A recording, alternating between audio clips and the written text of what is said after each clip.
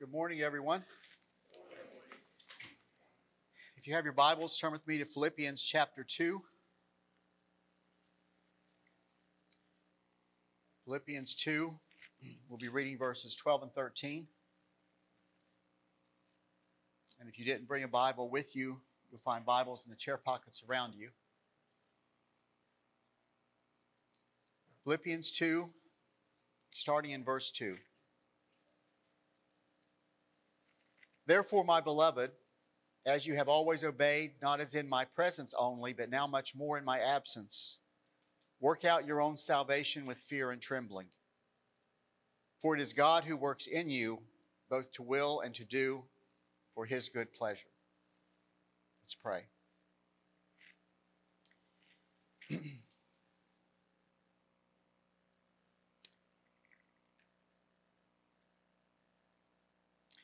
Father, I thank you for the song we sung earlier to remind us that you are the God of angel armies. As Alex prayed in his prayer, we are living in troubling times. And yet, Father, none of this has taken you by surprise. And you are still the God of angel armies. And say, we not, need not fear as others fear. Father, I pray that we would place our trust in you, that we would do everything that we can do to stand for what's right, to oppose what's wrong, and that we would trust you, Lord. Father, I thank you for the body of Christ. I thank you for the presence of the body of Christ in the United States of America. I pray, Lord, that you would use her to bring about renewal. I pray that your Holy Spirit would move to bring revival to your church, Lord, so that the Christians who are in America would do what's right,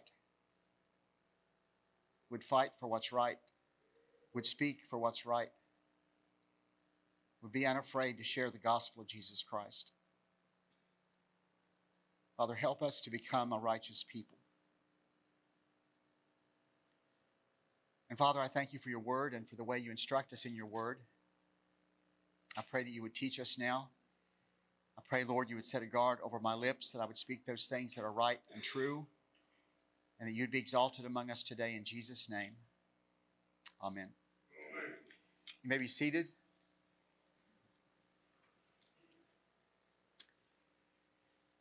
Becoming the kind of person who does what's right because it's in your nature to do what's right.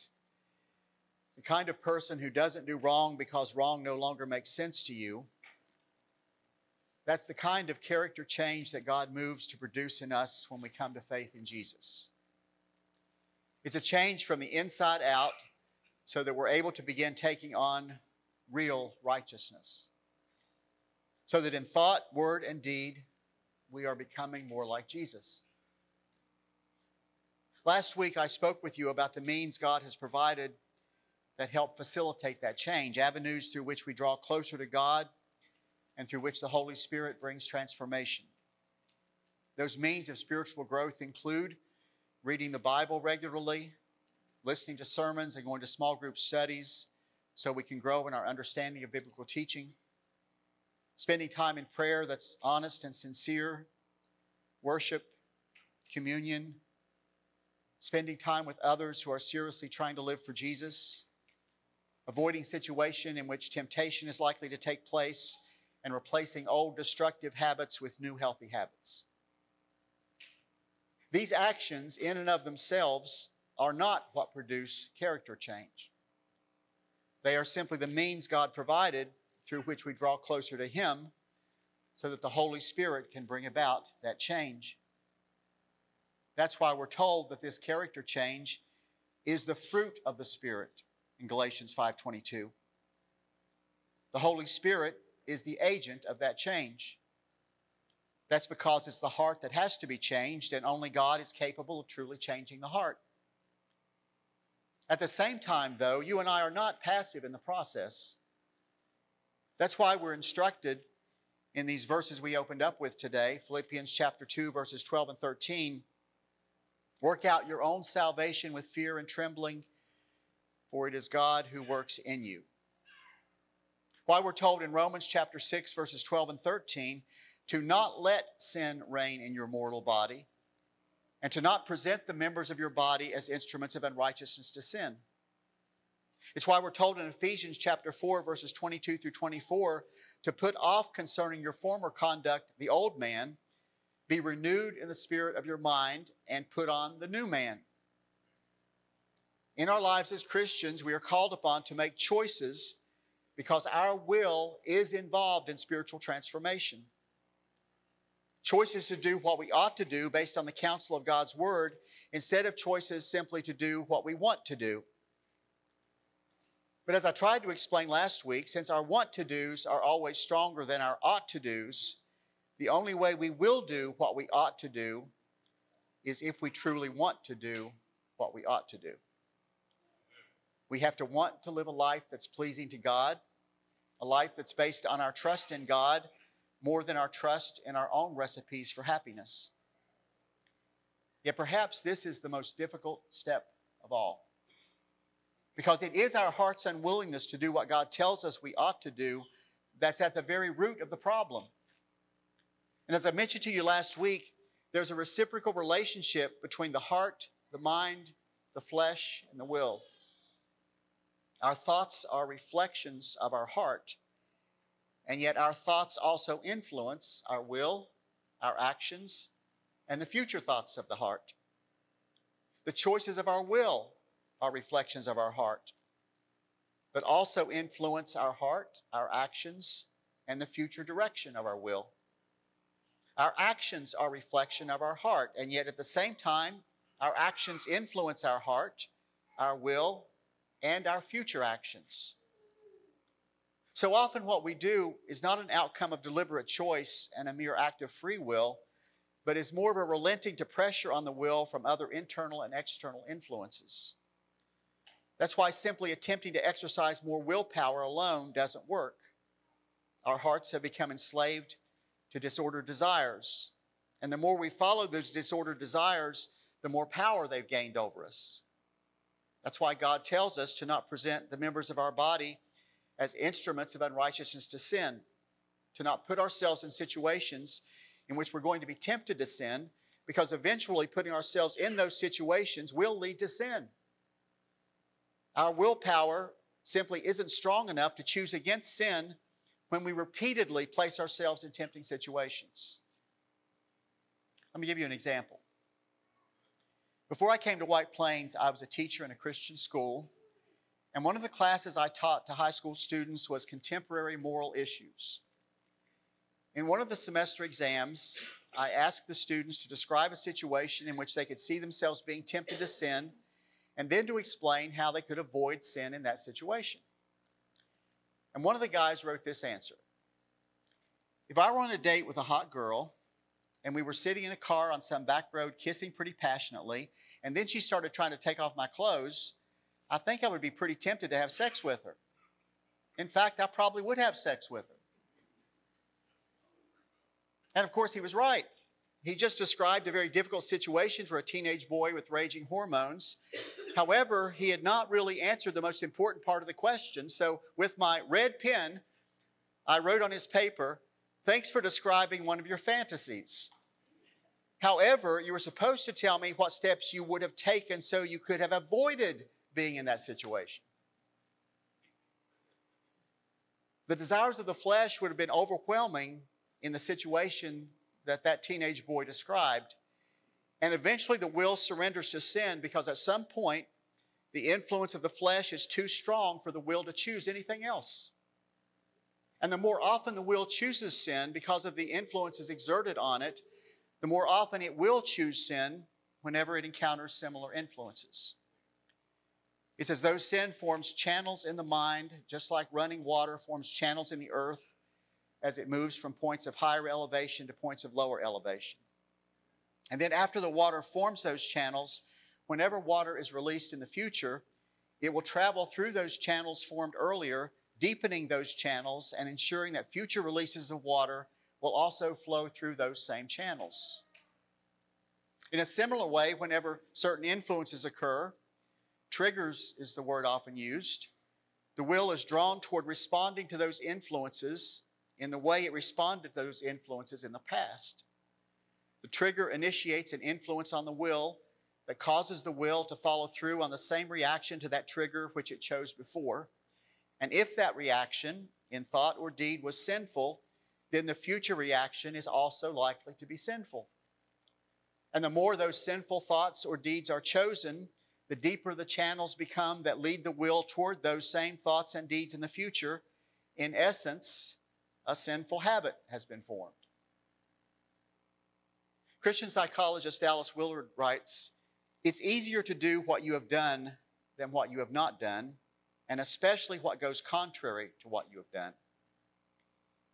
Plus, once the will becomes enslaved to a desire, in other words, once the channel between trigger and outcome has become so deep, the mind will begin to provide rationalization for that desire.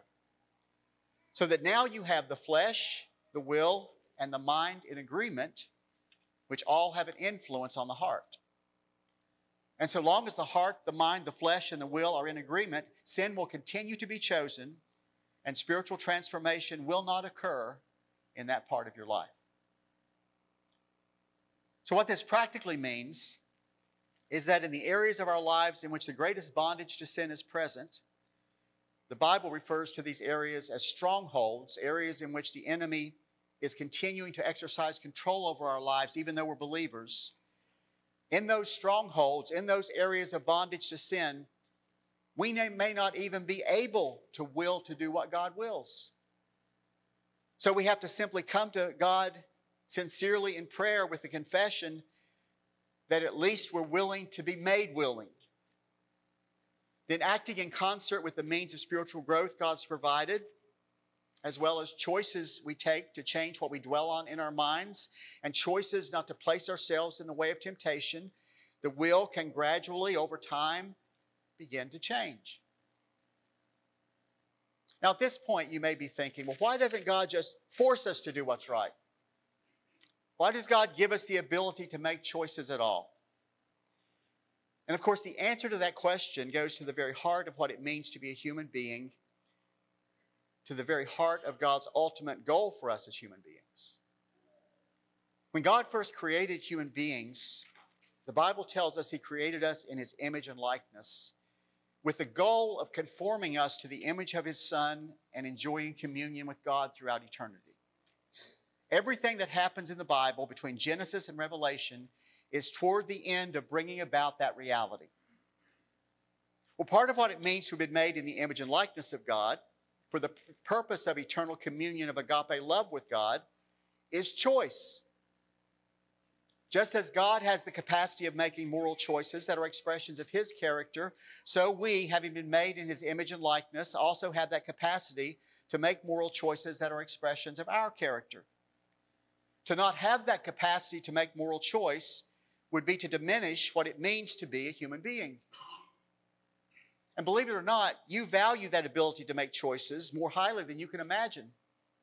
It's one of the very first expressions of godlikeness that we see in human beings. Have you ever noticed how quickly children want to do things for themselves? To feed themselves, dress themselves, tie their shoes, catch a ball, turn on the TV. That's because those are all expressions of autonomy the beginning of the ability to make volitional choice. Parents are usually excited as they see this autonomy manifested in their child. They want to be there when their son takes his first step or when their daughter says her first word.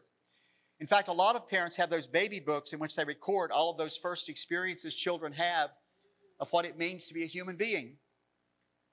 And as those children grow older and as those choices become more substantial, the choices to obey or disobey, the choices to do right or do wrong. Parents are pleased when their children make the choice to do right. Just as our Heavenly Father is pleased when His children make the choice to do right. However, this human capacity of the will to make moral choices, which can be exercised to choose good, also has the option, by definition, of the choice to do evil. At least two options are necessary to choice. There can be more than two options, but there must be at least two, which is why all that was needed in Eden was the choice to eat from the tree of the knowledge of good and evil and the choice not to eat from the tree. That choice between those two options alone was all that was needed to test the devotion of the human heart. And regrettably, the choice made by the first man and the first woman was the choice to follow self will instead of God's will, to act out of love for the creature more than love for the Creator. And all human beings since have manifested that same sin nature, that same self will that is driven toward getting what self wants. From infancy on, the sin nature exposes itself as we seek to exercise our will, not so we can answer the question, what is the right thing to do, but to answer the question, how can I get my way? And as children grow and then become adults, they learn how to manipulate and how to deceive in order to get their way. Tears, anger, and the silent treatment are three forms of manipulation that many people learn as children, which they continue to employ once they become adults. The key to short circuiting these forms of manipulation in children is not to give in to them. Though many parents find it easier to give in than to experience the tantrums or the high decibel nonstop crying. So parents give in, and the children grow up and become adults who continue to use the same form of manipulation that worked for them as children. This isn't something that's usually done on the conscious level, it's a manipulative reaction that they have learned. So here's the dilemma we face in our efforts to pursue spiritual growth and experience character change. Real character change can only occur if the heart itself is changed. Because real character change isn't simply a matter of outward action, but inner attitude. But the heart is influenced by what the flesh desires, what the mind thinks about, and what the will chooses. We already come into the world with our heart genetically bent in the direction of sin and through the influences of what our flesh desires, what our mind thinks about, and what our will chooses, the heart becomes only more inclined towards sin over time. So that the diagnosis of the human heart that God makes in Jeremiah chapter 17, verse 9 is that the heart is deceitful above all things and desperately wicked. But then we become Christians we become recipients of the promise made regarding the new covenant in Ezekiel chapter 36, beginning in verse 26. That passage reads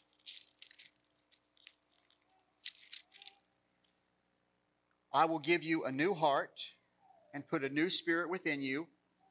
I will take the heart of stone out of your flesh and give you a heart of flesh. I will put my spirit within you and cause you to walk in my statutes and you will keep my judgments and do them.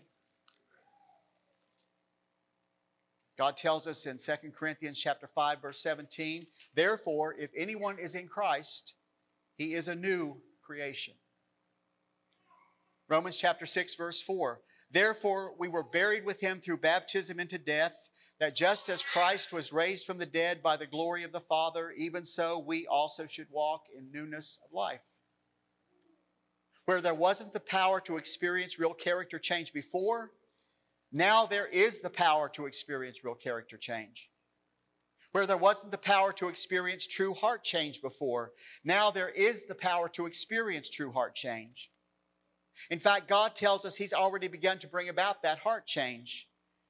That's why we're told we're a new creation in Christ Jesus. That's why we're told that we should walk in newness of life. That's why we're told that God will take the heart of stone out of us and give us a heart of flesh. That heart hardened by sin will become sensitive again. That heart that couldn't be changed will be changed. And I will put my spirit within you, God also promises, and cause you to walk in my statutes, and you will keep my judgments and do them. There's the promise of that righteousness from the inside out, that life that's like the life of Jesus, so that we can become a person who does what's right because it's in our nature to do what's right, and the kind of person who doesn't do wrong because wrong simply doesn't make sense anymore. But this transformation takes time. That's why in the New Testament, salvation is spoken of in three tenses a past tense, a present tense, and a future tense. Through the, through the sufficiency of Jesus' death on the cross for our sins, we have been saved from the condemnation that sin brings. This is something already accomplished that cannot be undone. Most assuredly, I say to you, Jesus says in John chapter 5, verse 24, He who hears my word and believes in him who sent me has everlasting life, present tense, something already accomplished, and shall not come into judgment, future tense, but has passed from death into life, past tense, something already accomplished. This is referred to theologically as justification. Through our faith in Jesus Christ, we have been saved. However, the Bible also speaks about a present tense salvation, that we are being saved. This is the perspective from which Paul writes in Philippians chapter 2 verse 12 when he tells us to work out your salvation with fear and trembling, for it is God who works in you. This is referred to theologically as sanctification the process by which we're being saved from the old man, from our old way of living, and are taking on the new man, adopting a new way of living. It's in this part of the salvation process that we have to make use of the means of growth that God has provided. Means that will help us change what our minds think about, what our flesh desires, and what our will chooses. And remember, there's a reciprocal relationship between the mind, the flesh, the will, and the heart so that actions in one area have an effect in the other areas. As we spend time reading the Bible regularly, listening to sermons and going to small group studies, spending time in prayer that's honest and sincere, worshiping regularly, taking communion, spending time with others who are seriously trying to live for Jesus, avoiding situations in which temptation is likely to take place, replacing old destructive habits with new healthy habits. As we do these things, the mind, the flesh, the will, and the heart gradually begin to experience change. And over time, we can begin taking on the character of Jesus. Now, this isn't a process completed in this life, which is why there's a third tense of salvation. Just as we have been saved from the condemnation that sin brings, and are being saved from the domination of sin in our present lives, one day we when we are with Jesus, we will be saved from every vestige of sin. The apostle John writes in 1 John chapter 3 verse 3, "Beloved, now we are the children of God." Something already accomplished through your faith in Jesus Christ. And it has not yet been revealed what we shall be, but we know that when he is revealed, when Jesus is revealed, we shall be like him, for we shall see him as he is. Theologically, this future tense of salvation, when sin will no longer be a problem for us, is referred to as glorification. The Apostle Paul speaks about this hope of being fully like Christ in his character one day, and about the fact that he wasn't there yet in Philippians chapter 3, verses 13 and 14. Paul writes, Brethren, I do not com- count myself to have apprehended, but one thing I do, forgetting those things which are behind and reaching forward to those things which are ahead, I press toward the goal for the prize of the upward call of God in Christ Jesus. And that's the perspective we all need to have. Forgetting those things which are behind, or putting off the old man, and reaching toward those things which are ahead or putting on the new man, we need to press toward the goal of the upward call of God in Christ Jesus. We need to work out our salvation with fear and trembling, using the means of spiritual growth God has provided, and realizing that through these means, God will be working in us to will and to do according to his good pleasure. The good news is our hearts really can be changed. Let's pray.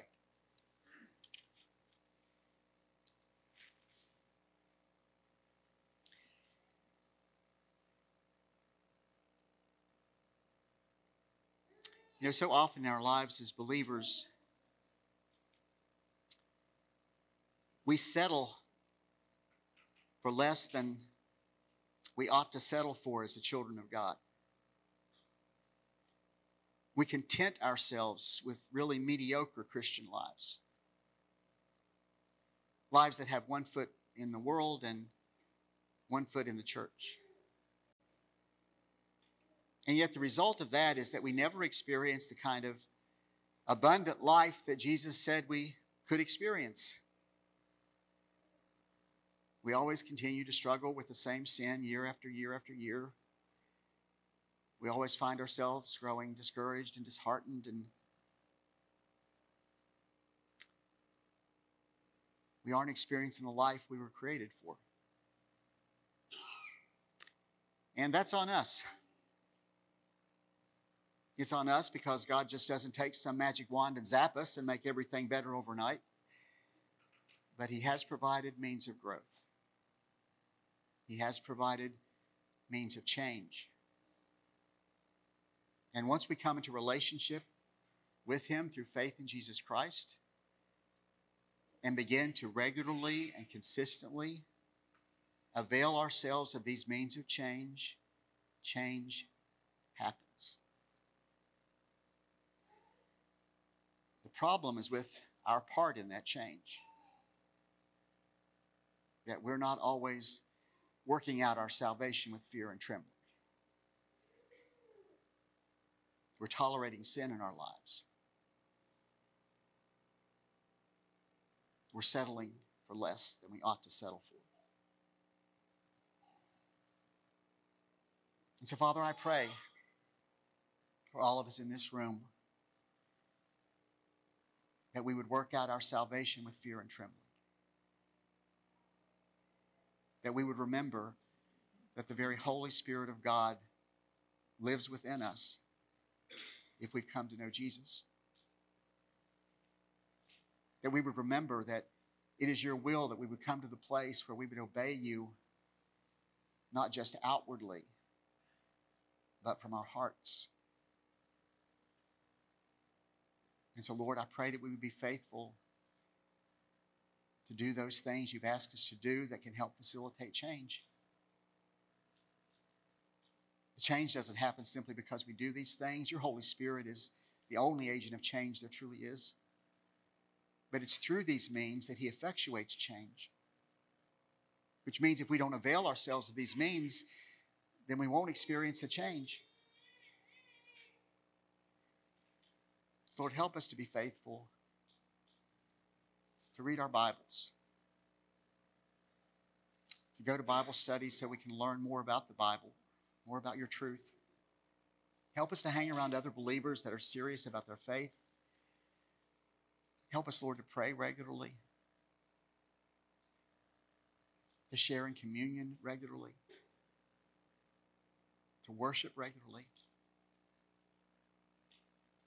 Help us, Lord, to step out to serve others. Help us to share the gospel. Help us to stop putting ourselves in tempting situations Help us to start choosing to do what's right.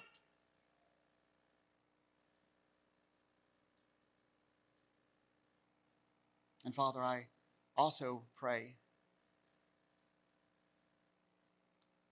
that if there's anyone here today who doesn't know Jesus, this might be the day of salvation.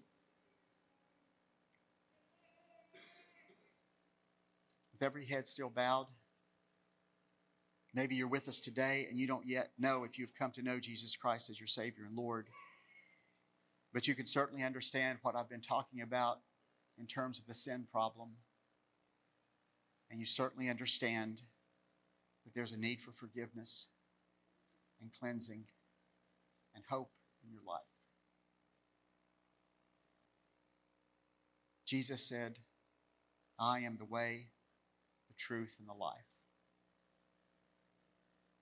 the way, the truth, and the life.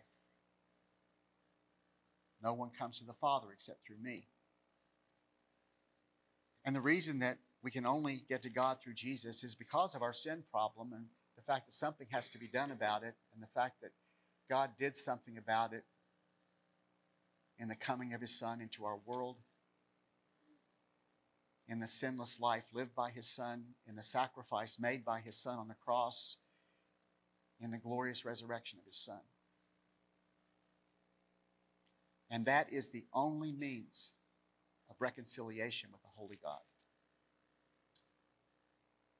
So if you are here today and you're not sure if you've ever truly trusted in Jesus Christ as your Savior and Lord, if you would raise your hand, I will lead you in a prayer of commitment. I'll pray the words aloud. You can repeat them silently to God right where you are. All you need to do is raise your hand.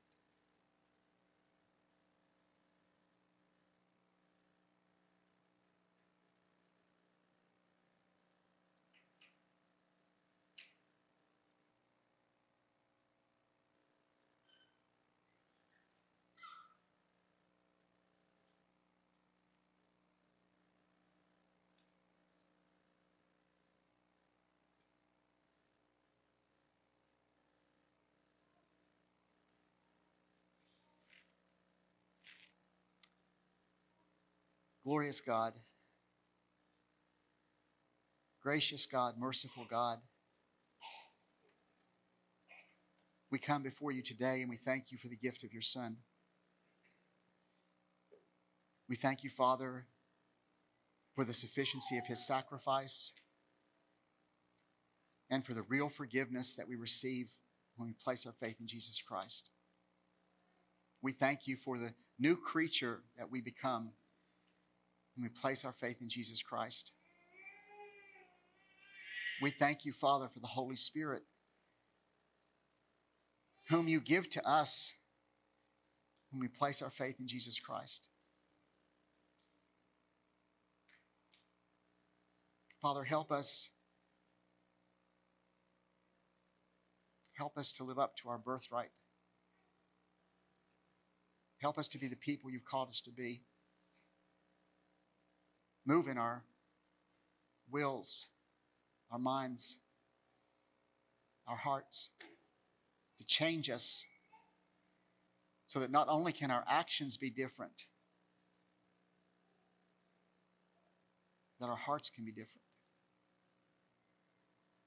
Help us, Father, to become the kind of people who do what's right because it's simply in our nature to do what's right and the kind of people who say no to doing what's wrong because wrong just doesn't make any sense to us anymore and doesn't have any appeal for us anymore.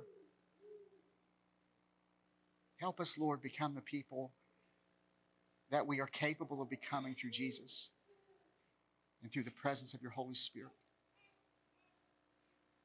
And help us, Lord, to realize that we don't have to settle for less. And all these things we ask in Jesus' name. Amen.